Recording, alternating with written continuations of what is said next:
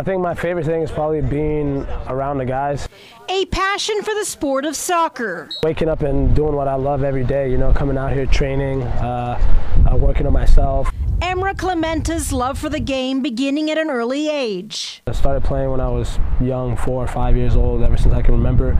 Dreams of going pro. And after soccer stints in Europe, the Bay Area native began to question his path. I was on the verge of quitting because you know, luck wasn't on my side, and then uh, luckily uh, I came to a tryout here at the with the Sac Republic, and the rest is what it is.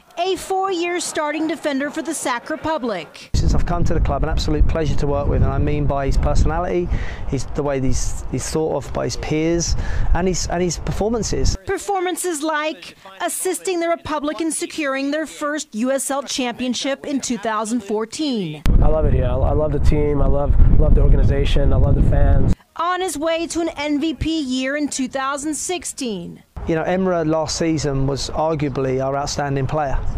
He was having a great year. But Emrah's season would end quickly. And we felt it. Everybody felt it for him.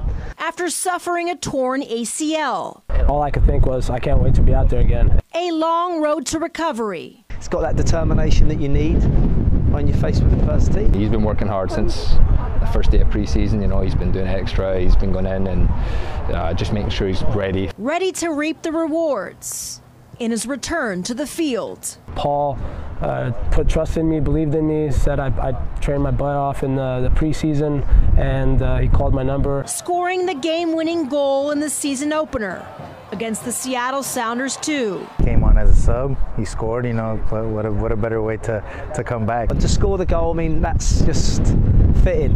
And uh, he came to the bench.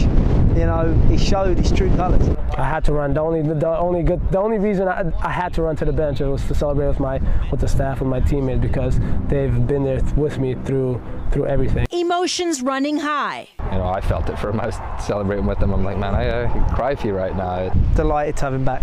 Bouncing back with hopes of bringing another title home to Sacramento. I win the West again and uh, win a championship. At the end of the year, uh, we want to be holding that trophy. In Sacramento, Michelle Dapper, KCRA 3 News.